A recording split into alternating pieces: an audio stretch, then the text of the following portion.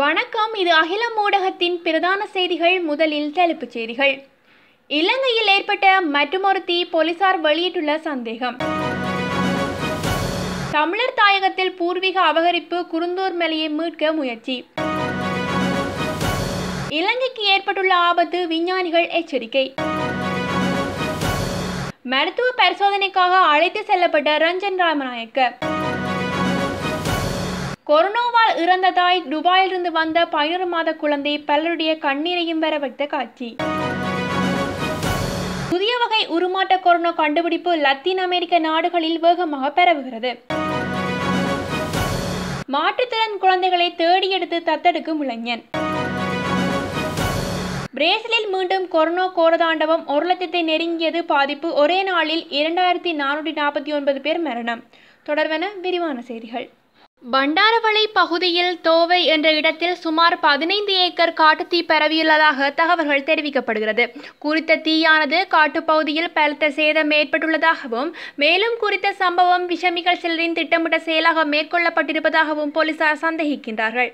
இந்த நிலையில் தீயை கட்டுக்குள் கொண்டுவருக்க நடவடிக்கைகள் முன்னெடுக்கப்பட்டு வருவதாக போலீஸ் தரப்பிலிருந்து தகவல்கள் வெளியாகியிருக்கின்றது. முல்லைத்தீவு தண்ணீர் முறிப்பு பகுதியில் தற்போது பௌத்தமயமாக்கல் முற்றியைக்குள்ள தமிழர்களின் பூர்வீக குருந்தூர் மலையினை விரைவில் மீட்போம் என வடக்கு மாகாண சபையின் முன்னாள் உறுப்பினர் துரைராசா ரவிகரன் அவர்கள் தெரிவித்திருக்கின்றார்.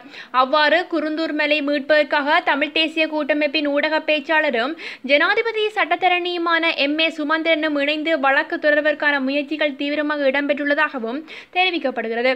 அவ்வாறு வழக்கு தொடர்வுக்காக ஆயத்தக்கட்ட பணிகளில் பெரும்பாலான பணிகள் முடிவுக்கு வந்துள்ளதாக எனவே குருந்தூர் மலையினை மீட்பதற்கான வழக்கு விரைவிலே தொடரப்படும் என்றும் தெரிவிக்கப்பட்டிருக்கிறது.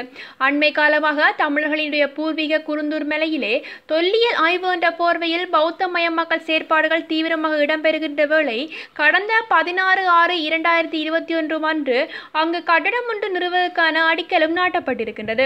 இது தொடர்பில் மேலும் தெரிய வருவதாவது தண்ணீர் முறிப்பு பகுதியில் அமைந்துள்ள குருந்தூர் மலை என்பது தமிழர்களுடைய பூர்வீக வழிபாட்டு தலமாகும் அவ்வாறான பூர்வீக வழிபாடுத்தல இடத்திலேயே பெரும்பான்மை இனத்தவர்கள் அரச திணைக்களம் மற்றும் பாதுகாப்பு தரப்பினரின் அனுசரணையுடன் பௌத்த மத திணிப்பு நடவடிக்கைகளை மேற்கொண்டு வருகின்றார்கள் என்றும் கூறப்படுகிறது. அத்தோடு ஜாழ் பல்கலைக்கழகத்தில் தொல்லிய துறையின் மூத்த வரலாற்று ஆய்வாளர்களுடன் குறித்த கிராமத்தை சேர்ந்த அனுபவம் வாய்ந்தவர்களுடனும் பல்வேறுபட்ட ஆய்வுகள் மேற்கொள்ளப்பட்டு வருகிறது. இந்த பகுதிக்கு சம்பந்தப்படம் இல்லாதவர்கள் பௌத்த துறவிகள் பெற முடியாது என பல்வேறு கட்டளைகளில் நீதிமன்றம் பிறப்பித்திருக்கின்றது. இலங்கையின் சமூக மட்டத்தில் கண்டுபிடிக்கப்பட்ட இந்திய கோவிட் மாறுபாடு எனப்படும் டெல்டா பாரதூரமான திரிவு என்று விஞ்ஞானிகள் சுட்டிக்காட்டியிருக்கின்றார்கள். தற்போது பரவியுள்ள கோவிட் மரபணுவை விடவும் இரண்டு மடங்கு வேகமாக இந்த வைரஸ் பரவக்கூடும் என்று விஞ்ஞானிகள் கூறி வருகின்றார்கள். மனிதனின் சுவாச கட்டமைப்பினுள் டெல்டா மாறுபாடு நீண்ட நேரம் இருக்கக்கூடும் எனவும் இதன் காரணமாக நோய் தொற்று தீவிரமடையக்கூடும் என்றும் விஞ்ஞானிகள் சுட்டிக்காட்டியிருக்கின்றார்கள். டெல்டா மாறுபாடு என்பது திரிவடைந்த கோவிட் மரபணுவாகும் என்று இது உலகிலேயே எண்பது நாடுகளிலும் கண்டுபிடிக்கப்பட்டிருக்கிறது. அது இந்தியா அமெரிக்கா மற்றும் பிரித்தானியா ஆகிய நாடுகளே அதிகமாக பாதிக்கப்பட்டுள்ளன. இதற்கு காரணமாக தளர்த்தவிருந்த முடக்க கட்டுப்பாடு நிலைகள் தொடர்ந்து நீடிப்பதற்கும் பிரித்தானியா தீர்மானித்திருக்கின்றது. இது தொடர்பிலே கருத்து வெளியிட்ட ஸ்ரீ ஜெயவர்த்தனபுர பல்கலைக்கழகத்தின் பேராசிரியரான சந்திம ஜீவரட்ன அவர்கள் தெமட்டகொட பிரதேசத்தில் எட்டு பேரின் மாதிரிகள் மாத்திரமே பரிசோதனைக்கு உட்பட்டு அதில் ஐந்து பேருக்கு டெல்டா கொரோனா தொற்று உறுதி செய்யப்பட்டுள்ளதாகவும் கூறப்பட்டிருக்கிறது இந்த நிலையில் கோவிட் தொற்று உறுதி செய்யப்பட்ட ஏனைய நோயாளிகளின் மாதிரிகளும் பெற்றுக்கொள்ளப்பட்டு பரிசோதனைகள் மேற்கொள்ளப்பட்டு வருகின்றன. எவ்வாறு பாதுகாப்பு நடவடிக்கைகள் மேற்கொண்டாலும் வைரஸ் வெற்றி பெறுவதாகவே முயற்சிக்கின்றது என்றும் இதன் மக்கள் அவதானமாக செயற்பட்டால் மாத்திரமே இதன் ஆபத்துக்களை ஓரளவு குறைக்க முடியும் என்று அவர் மேலும் தெரிவித்திருக்கின்றார்.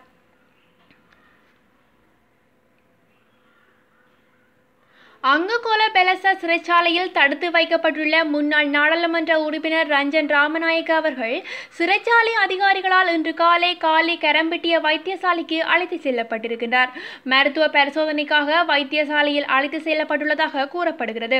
சிறைச்சாலை பேருந்தில் கடுமையான பாதுகாப்புக்கு மத்தியிலே ரஞ்சன் ராமநாயக்கு அழைத்து செல்லப்பட்டுள்ளதுடன் கராப்பட்டிய வைத்தியசாலை சூழலிலும் பாதுகாப்பு பலப்படுத்தப்பட்டிருந்தது. நீதிமன்ற அவமதிப்பு வழக்கில் குற்றவாளி என தீர்ப்பளிக்கப்பட்ட ரஞ்சன் ராம் ராமநாயக்க அவர்கள் தற்போது நான்கு ஆண்டு சிறை தண்டனையின் கீழ் அங்கு கோலபெஸ்த சிறைச்சாலையிலே தடுத்து வைக்கப்பட்டுள்ளதாகவும் தகவல்கள் தெரிவிக்கப்படுகிறது. தமிழகத்தில் கள்ளக்குறிச்சி மாவட்டத்தில் சித்தேரி தெருவை சேர்ந்த வேலையினுடைய மனைவியானவர் இவருக்கு மூன்று ஆண் குழந்தைகளும் மூத்த மகன் சிறுநீரக கோளாறினால் இறந்திருக்கின்றார். இந்த நிலையில் குடும்ப வறுமை காரணமாக வேலை செல்வதாக பாரதி தனது ஒன்பது மாத குழந்தையான தெவேஷ் என்ற பெண்ணுடன் கடந்த மார்ச் மாதம் துபாய்க்கு சென்றிருக்கின்றார். துபாயில் கொரோனா தொற்று காரணமாக கடந்த இருபத்தி ஒன்பதாம் தேதி பாரதி இறந்துவிட்ட நிலையில் அவருடைய உடல் அங்கேயே அடக்கம் செய்யப்பட்டிருக்கிறது தாய் நிலையில் குழந்தை மட்டுமே தனியே இருக்கும் என்று தகவல் அறிந்த துபாயினுடைய திமுக அமைப்பாளரான எஸ் எஸ் முகமது மீரான் அவர்கள் குறித்த தமிழ்நாட்டு முதலமைச்சர் மு க ஸ்டாலினிடம் தொடர்பு கொண்டு அதனையடுத்து முதலமைச்சர் உதவியுடன் துபாயிலிருந்து குழந்தை அழைத்து வரப்பட்டிருக்கிறது. அதன்படி திருவாரூரை சேர்ந்த சதீஷ்குமார் அவர்கள் துபாயிலிருந்து ஊர் திரும்புவதை அறிந்து இண்டிகோ விமான நிலையத்தில் அவருடன் பதினொரு மாத குழந்தை தேசியசையும் திருச்சியிலிருந்து அனுப்பி வைக்கப்பட்டிருக்கிறது. அவர் குழந்தையை பாதுகாப்பாக அழைத்துச் சென்று குழந்தையின் தந்தை வேலனிடம் திருச்சி விமான நிலையத்திலே ஒப்படைத்திருக்கின்றார். குடும்ப வறுமையை போக்க வெளிநாட்டில் வேலைவாய்ப்பு தேடித்த இந்த தாயே கொரோனாவால் இழந்த குழந்தை மீண்டும் நாடு திரும்பி தன் தந்தை அண்ணனுடன் சேர்ந்த இந்த சோக நிகழ்வு பலரின் கண்ணீரையும் வரவழைத்திருக்கின்றது. உருமாற்றமடைந்த கொரோனா வைரசுக்கு கிரேக்க எழுத்துக்களான அல்பா பீட்டா கேமா என்று உலக சுகாதார அமையம் சமீபத்தில் பெயரிடப்பட்டிருந்தது. கொரோனா வைரஸானது கடந்த ரெண்டாயிரத்தி பத்தொன்பதாம் ஆண்டு இறுதியில் சீனாவில் வுவான் நகரிலே கண்டறியப்பட்டிருக்கிறது. அதன்பின் வைரஸ் உலகம் முழுவதும் அனைத்து நாடுகளிலும் பரவி பெரிய பாதிப்பை ஏற்படுத்தியிருக்கிறது. கொரோனா பாதிப்பு பெரும்பாலான நாடுகளில் குறைய தொடங்கிய போதும் அந்த வைரஸின் மரபணுக்கள் மாற்றமடைந்து உருமாறி இங்கிலாந்து தென்னாப்பிரிக்கா பிரேசில் நைஜீரியா உள்ளிட்ட நாடுகளில் வெவ்வேறு வகை உருமாற்ற கொரோனாவும் பரவுவது தெரிய வந்திருக்கிறது இதில் இந்தியாவிலும் உருமாறிய கொரோனா கண்டறியப்பட்டிருக்கிறது இந்த உருமாற்றமடைந்த கொரோனா வைரஸுக்கு கிரேக்க எழுத்துக்களான அல்பா பீட்டா கேமா என்று அழைக்கப்படும் பெயர்களும் சூட்டப்பட்டிருக்கிறது ஏற்கனவே டெல்டா வகை கொரோனா பல்வேறு நாடுகளில் பரவுவதாக தெரிய வந்திருக்கின்ற வேளை இப்போது புதிய வகை கொரோனாவும் பல்வேறுபட்டவை கண்டறியப்பட்டுள்ளதாக உலக சுகாதார அமைப்பு கூறியிருக்கிறது இது குறித்து அந்த அமைப்பு கூறும்போது லெம்டா என உருமாறமடைந்த கொரோனா வைரஸானது பெருநாட்டிலே கண்டறியப்பட்டு இந்த வகை வைரஸ் இருபத்தி ஒன்பது லத்தீன் அமெரிக்க நாடுகளிலும் பரவி காணப்படுகிறது என்று குறிப்பாக அர்ஜென்டினா சிலி போன்ற நாடுகளிலும் வைரஸ் பரவி காணப்படுகின்றது என்றும் கூறப்பட்டிருக்கிறது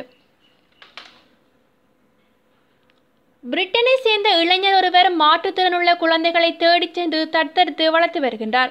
ஐரோப்பாவின் பிரிட்டனில் ஹெட்டஸ்பீல்ட் நகரிலே வசிப்பவரான ஹார்பெண்டர் பென் என்பவர் இவர் இருபத்தி ஒன்று வயதில் மாற்றுத்திறன் குழந்தைகளை தத்தெடுத்திருக்கின்றார்.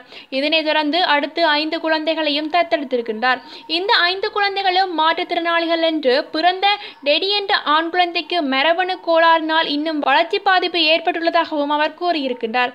இரு ஆண்டுக்கு முன் திடீரென அந்த குழந்தை இறந்த சோகத்திலே இடையிலும் பார்வையிட்ட லூஜி என்ற தன்னுடைய ஆறாவது குழந்தையையும் தத்தெடுத்திருக்கின்றார். மூல வளர்ச்சி குறைவினால் பாதிக்கப்பட்ட இந்த குழந்தைக்கு தன்னிச்சையான தசைகள் இயங்க முடியாமல் இதுபோல் தத்தெடுத்த ஆறு குழந்தைகளும் ஓட்டிசம் மற்றும் செவித்துடன் குறைபாடு உள்ளவர்களாக காணப்படுகிறார்கள் என்றும் கூறப்பட்டிருக்கிறது. எனினும் அவர்களை பராமரித்து அன்பு செலுத்துவதில் தனக்கு தனி மகிழ்ச்சி கிடைக்கின்றது என்றும் பென் மேலும் குறிப்பிட்டிருக்கின்றார். பெரிய குடும்பம் அமைய வேண்டும் என்பதே என்னுடைய கனவு என்று அவர் மேலும் கூறியிருக்கின்றார்.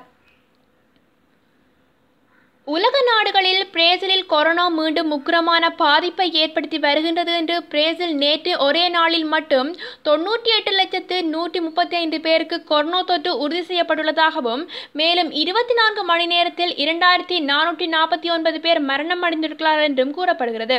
உலக நாடுகளில் மொத்த கொரோனா பாதிப்பினுடைய எண்ணிக்கை பதினேழு தசம் எட்டு கோடியை தாண்டியுள்ள நிலையில் உலகில் மொத்த கொரோனா பாதிப்பினுடைய எண்ணிக்கை பதினேழு கோடியே எண்பத்தஞ்சு லட்சத்து எண்பத்தி ஆயிரத்தி நூற்றி பதினொன்றாக உயர்ந்திருக்கின்றது.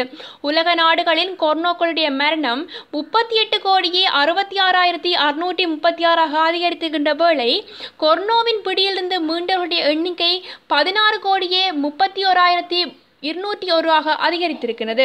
பிரேசிலில் தான் கொரோனா மோசமான பாதிப்பை ஏற்படுத்தி வந்த வேளை அங்கு ஒரே நாளில் தொண்ணூற்றெட்டாயிரத்தி நூற்றி முப்பத்தி ஐந்து பேருக்கு கொரோனா தொற்று உறுதி செய்யப்பட்டிருக்கிறது.